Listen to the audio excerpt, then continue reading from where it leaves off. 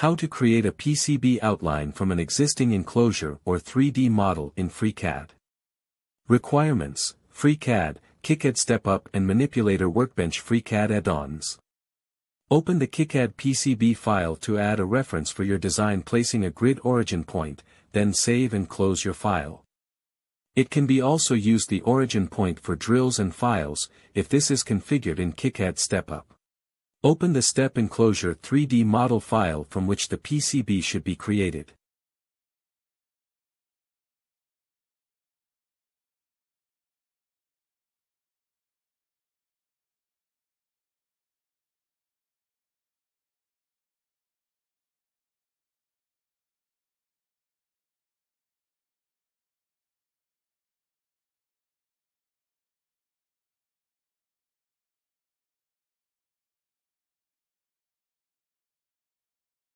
Rotate the enclosure to orient it in a way you want it to be displayed or generated in KiCad file. Hide the top and non-desired parts to show the internal shape.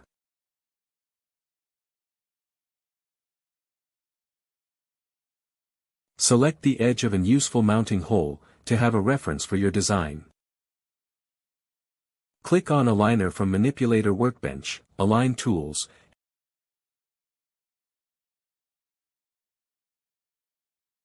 and align the edge to the origin of coordinates.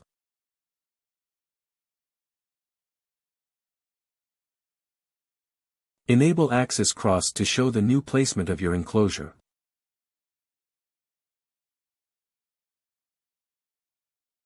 Now reset the part placement to make this placement persistent also for the KiCad PCB file. When available, create directly a sketch by generating the desired sketch from the model. Select the top face of the 3D PCB shape and click on Edge to Sketch tool. This will create a sketch from your shape. Modify the sketch shape if required by the desired PCB outline. This is not done on this tutorial. Select the new sketch and Push Sketch to PCB. Note, it is also possible to choose the layer to be pushed, allowing useful support layers in KiCad PCB. Select the KiCad PCB destination file. A backup file with time and date, will be created during this update process.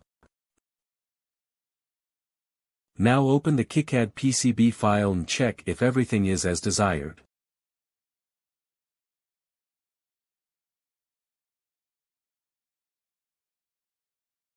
It is useful to save also FreeCAD file, to have memory of the new placement of the enclosure, aligned to your PCB. Even if it is possible to modify the sketch in KiCad, it is more powerful and useful to modify it in FreeCAD and then push the modified sketch to KiCad. It is also possible in FreeCAD to pull and push the sketch